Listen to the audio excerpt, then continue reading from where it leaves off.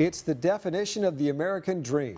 In tonight's Destination California, CBS 47's Medeiros Bab takes us to a spot that's protected from our summer's searing heat, Forestiere Underground Gardens.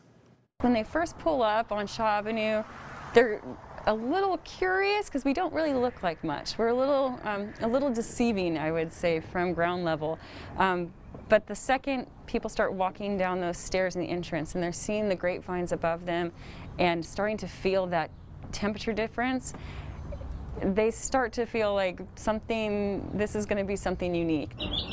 Arches, tunnels, and several courtyards built over a hundred years ago by one Sicilian immigrant. He was imaginative. Um, I think he was a little bit of a genius. Baldassare Forestiere bought the 80 acres for $80, a steal. But when he started digging, what he thought was fertile soil for a citrus empire turned out to be rock. Instead of giving up, he started to build, piling the stones one on top of the other.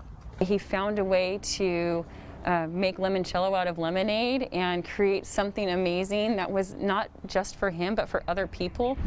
Forestiere, using only his imagination, built the gardens. In 1979, it became a historic landmark. The tour showing how innovative he truly was. From his bedroom, you will be able to see a peephole to his front door. That way he could distinguish who was coming to visit just by their shoes. The gardens continued to stay in the Forestiere family with tours every day. When planning a trip, make sure to make reservations and wear a mask so you don't get turned away. At the end of each tour, the guides leaving participants with one final quote from Baldassare. It pretty much says that you can make anything with money, but to make something out of what is already there is truly special. Reporting for Destination California, Medeiros Bab in Fresno.